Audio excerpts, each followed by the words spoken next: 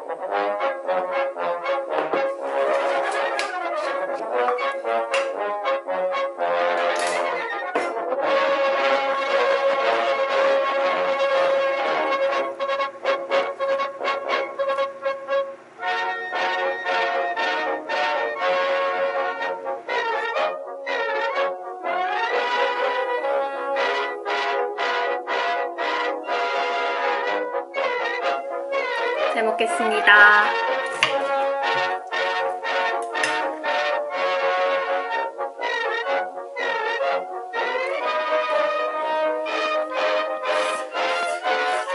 맛있네. 맛있긴 맛있어요. 촉촉한 고기를 바삭한 파이에 얹어 먹는다고 하면 머릿속에 딱 생각날 그 맛이에요. 왜 피자집에서 토마토 오븐 스파게티 같은 거 시켜 먹으면은 분명히 고기가 많이 들어있긴 한데 거의 토마토 맛만 나잖아요. 파이 filling 만들 때 토마토를 넣긴 넣었지만 많이 넣지는 않아서 그런지 토마토 맛이 두드러지지는 않고 고기를 꽤 오래 구워가지고 퍽퍽할 만도 한데 음, 전혀 그렇지 않고 술술 넘어갑니다. 아까 파이에 버터 엄청 들어가는 거 보셨죠? 그 왕창 들어간 버터에서 나는 풍미가 고기하고 어우러지니까 단순히 그냥 촉촉한 고기랑 파이를 같이 먹는 거 이상의 시너지가 나는 게 아 그게 좋네요. 그냥 고기 한 입, 파이 한 입 먹는 게 아니고 굳이 meat 파이로 해 먹어야 할 이유가 있다면 바로 그거. 그레이비 소스 드셔보신 적 있으세요? 사실 소스만 먹으면 맛이 되게 없어요. 그냥 뭔가 느끼하기만 한 느낌인데 파이를 입에서 씹다가 약간 촉촉함이 부족해질 때 그때 이제 그레이비가 살짝 들어가면은 다시 엄청 촉촉해지고 부드러워지고 약간의 감칠맛이 끌어올려지는 그런 느낌이 나서 지금 이 요리에 굉장히 필수 불가결하다고 생각이 됩니다. 이 발본의 주방 고기 요리를 전혀 생각을 못하고 있다가 한 구독자님이 제보를 해주셔가지고 고맙게도 그래서 만들게 됐는데 제가 나름 품의 투를 엄청나게 했다고 자부하는 사람이지만 뭐 진짜 생각을 못했는데 그 요리점을 가까이 하지 않아서 그래. 일단 뭐 거의 모든 사람이 알고 있는 공공연한 비밀이지만 참 다들 이제 초반에는 무조건 농장만 가잖아요. 초반에 요리점 가는 사람 있습니까? 회의를 잘 주는 것도 아니야. 거기다가 올릴 수 있는 수치가 요리뿐인데 요리를 못하면 돈이 안 벌려. 요리를 올리고 싶으면 요리를 잘해와라. 어? 거기다가 요리점 다니면 전투기술 떨어지잖아. 제가 꼭 무사계열 엔딩을 보려던 게 아니더라도 항상 무사수행 다니려고 전투기술을 풀로 채워놓고 다녔는데 어 근데 전투기술이 떨어지다니 이럴 순 없지. 그래서 제가 발본 아저씨를 가까이 하지 않았던 바 정말 생각하지 못했습니다. 맛있긴 맛있네요. 파이가 저한테는 마카롱만큼이나 되게 어려웠던 음식인데 아, 그래가지고 이거는 촬영 전에 연습을 좀 했었거든요. 아 그래서 걱정했는데 이렇게 생각보다 잘 나와서 참 다행이에요. 다 먹고 마무리할게요. 안녕.